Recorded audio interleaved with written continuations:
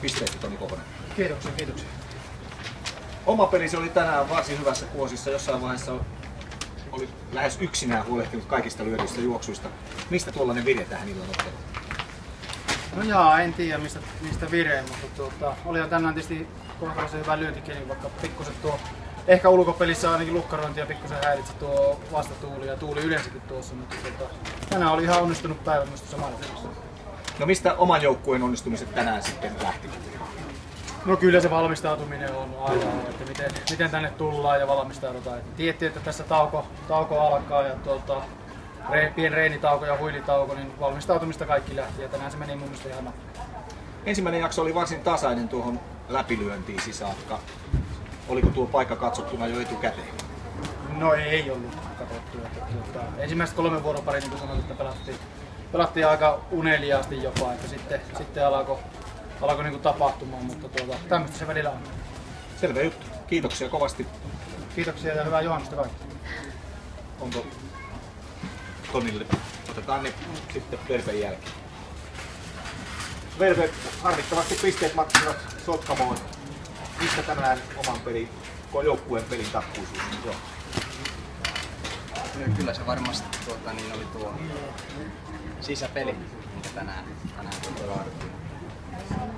Ulkona, ulkona pelattiin mun mielestä hyvää, hyvää peliä ja siinä mun mielestä paljon, pa, paljon tuota, niin annettiin, annettiinko yhtäkään juoksua oikein ilman. Kaveri, niin, en tiedä kuinka Raunio sanoi, että se, siihen se lyöntiin jollakin lailla kerkes, mutta en tiedä, että menikö se sitten vähän sieltä hiekalta, mutta, mutta hyvin pelattiin ulkona. Sisäpeli varmaan Niin, sulla taisi olla 100 prosenttia tuo kentällä prosentti tänään, mutta ykkös kakkospäivällä oli, oli vaikea. Kuinka paljon tuota on viime aikoina pohdittu ja keskusteltu tuota ykkösvaihtoa? No kyllä sitä. Sitä tietysti nämä ykköstilanteen pojat on miettinyt. Kyllä varmasti on. Mutta siinä ei ole vielä ihan sellaisia selkeitä eväitä löytynyt. Ei, ei ole nyt ainakaan, ainakaan tänään. Eikö se tästä? Niin, uskoa vaan eteenpäin ja, ja sitten tästä seuraavia taistoja kohti. Näin on. Ei muuta kuin kiitoksia. Kiitos. Onko pelaajille tässä vaiheessa lisäkysymyksiä? Pääsette loppuverikkaamaan sitten. Mikko ja Mikko.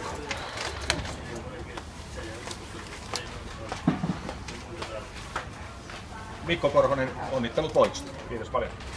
Toni Kohonen jo tuossa sanoi, että teidän valmistautuminen oli mennyt hyvin, että se vaikutti tämän päivän pelisuoritukseen. Alku oli kuitenkin tasaista ja ehkä hieman, hieman teiltäkin sisäpelistä takkuista. Miten luonnehtisit sitä?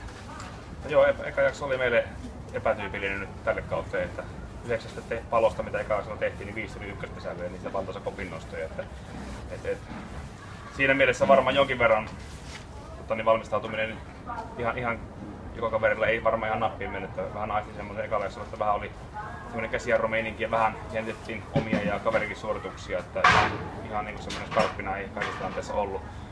Ne jäi eka jaksosta mieleen. Sitten jäi mieleen Immo Rautaisen kaksi loistavaa ulkopelisuoritusta. Kävin hakemassa jo varma tänään, että joukut sieltä kupparit koppareiden eestä. Se oli, ne oli siihen paikkaan, missä voittavia tärkeitä juttuja. Se oli pelin luku ja tilanteen luku hyvin kyllä hallinnassa. Ja sitten oikeastaan kaksi lyöntiä jäi eka jaksosta mieleen, että Janiko mulle yhteen olla pallon väliin ehti perään kohan kakkosjälkkeeltä, että avainpelat näytti tärkeässä paikassa, että kahdellakin lyönnillä helposti tai saadaan jakso käännettyä, että muuten, muuten avausjakso oli kyllä hyvin tahme ja jätti kyllä toisella jaksolla skarpottavaa. Vähän parannettiin toisella jaksolla, ulkopeli edelleen hyvä, ykköstilanne oli hyvällä tasolla ja tehtiin juoksi jokaiseen vuoroon, niin vähän parannettiin, mutta jätti, jätti varmasti niin valmistautumisen puolta tietyllä tavalla vähän myöskin petrottamaan niin pikkusen mennessä ajatuskartan välillä. No sanoit, että tämä on teidän tämmöisen yhden jakson päätöspeli.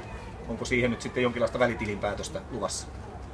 No on, on mutta niin pari päivää nyt ne rupeaa tuossa huomenna yli huomenna katsotaan ne pelit ja teetämme tilastot yhteen, mutta se, että kuusi peliä kuusi voittoa, niin se on se iso juttu ja, ja niin kuin sanoin, että Toni tänään kuusi juoksua taas lyöntinä mailan varressa, niin tuo kotiuttaja Kaarti niin kuin vastaa siihen Rove jättämään uutta.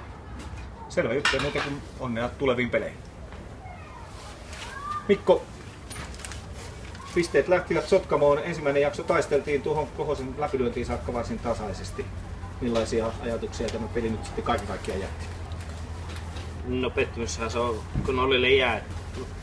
Mut, mut. Paljon siinä hyvä. Attila Miika pelasi varmaan parhaan pelinsä tuossa ulkona. Teki hyviä paloja ja, ja, ja tuota, muutenkin ulkopeli suht hyvää. Vielä jätti niissä tiukoissa tilanteissa, niin eihän se läpäri saisi mennä siitä, että kyllä se pitää poikki saada.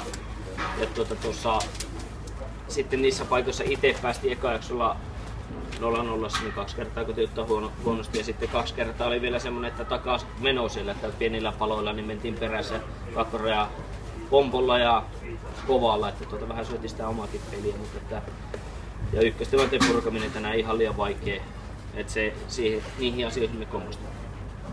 Oikeastaan tuokin oli aika tyhjentävästi nyt tästä pelistä. Millaisia asioita nyt sitten, onko esimerkiksi Ville Viita tulossa pelaavaan kokoonpanoon, kuinka pian nyt jos katsotaan eteenpäin? No katsotaan mikä on juhannuksen jälkeen tilanne. Tuota, et, et, en osaa siihen sanoa, mutta että se, että me on parannettu ulkopeliä kumminkin niin viime aikoina, että Pattioilla 11 kolmostilannetta ja tänään Jymyn tasoinen joukko 14 kolmostilannetta. Ne on niin kuin siinä määrässä, mitä, mitä niin kuin varmasti tällä hetkellä on realistista ja me pelataan hyvin. Antti on pelannut viime aikoina erittäin hyvin parantunut sitä alusta. Ja tuota, mutta että katsotaan juhannuksen jälkeen, että mikä se kokoonpano sitten on. Toivotaan, että pelit lähtevät siitä loppukesää kohti rullaamaan oikein mainiosti. Ei muuta kuin tsemppiä eteenpäin. No niin, kiitos.